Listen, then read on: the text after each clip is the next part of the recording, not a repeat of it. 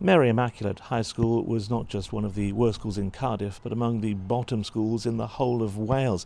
They've turned that around in six years, achieving high scores and grades from their latest Estyn report. Inside, teachers, governors, and pupils heard the good news. As a school, we have also been on a journey with its own ups and downs. A few years ago, Mary Immaculate High School, a school that serves some of the most deprived wards in Wales was earmarked for closure. Results were poor, expectations were low. The poor headlines at the time reflected a community at its lowest ebb. However, with the dedication of both my predecessor and the staff as a whole, things were turned around. The inspection report from both Estyn and the Archdiocese highlight the hard work and commitment that all members of the school community display on a daily basis. The school has had a difficult history, and today we are exceptionally proud to say that we are pupils of Mary Immaculate. The report also recognises the clear mission and vision that the school has and the high expectations that we, as pupils, have towards our learning. We are, we are especially proud that a strong sense of community has been raised. The work that the school has done to support the most vulnerable students have been highly commended, with the work of the bridge identified as sector leading. We know that those students who have used the bridge facility value the support, care and guidance the staff and its programmes provide. It's an honour for me to be head teacher of this school uh, and the journey that it's made uh, over the last couple of years from being a school that was earmarked for closure in 2009 to now we're top of the class, some fantastic results from Estin. Uh, they've, they've lauded our success and the hard work that we do with our young people and we, I'm very proud of them and of my colleagues.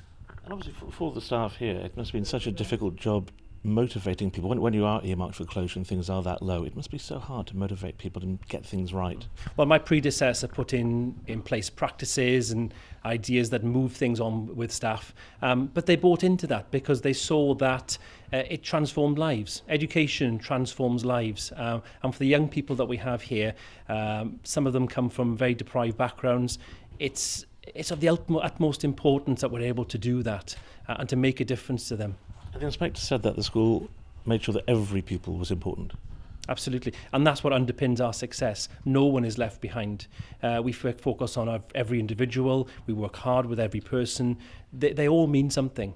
Uh, and we spend a lot of time, a lot of effort uh, dedicating ourselves to them and removing those barriers to learning so that they're able to achieve at such a high level. And the report highlighted a, a, a bridge scheme looking at helping certain students. Can you explain what, what that is? Yes, they noted the bridge unit that we have here, working with the vulnerable youngsters as what they call sector leading. In other words, the practice that is there is something that other schools should note and take notice of and actually uh, see if they can replicate within their own communities. And it comes back to that point I mentioned a moment ago. It's removing barriers to learning, supporting youngsters, helping youngsters, but fundamentally finding their way through that they're able to achieve and do their best.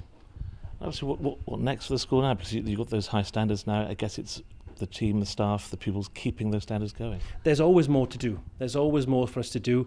Uh, there's always areas that we can continue to be excellent in or to work towards.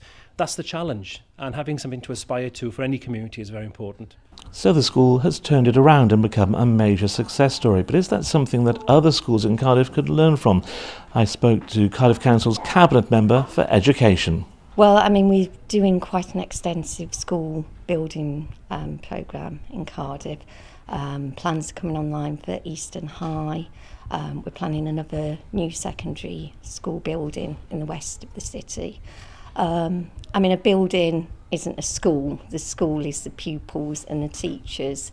But there's no getting around the fact that if a school is dilapidated or not suitable for the purposes, it will actually affect the education of the children, both for the hopes of the children who are going through the system, but also for the future of Cardiff as a capital city of Wales. We have to have well educated, adaptable um, future members of the population to. Uh, to keep us growing. I mean, the city's grown immensely over the last few years, um, but for economic prosperity, we have to have people who've got the educational qualifications who can actually take us further. Children from some of Cardiff's poorest and most deprived areas are taught here, and after today's excellent Estyn report, the head teacher insists they'll continue to give every child the best education they can get.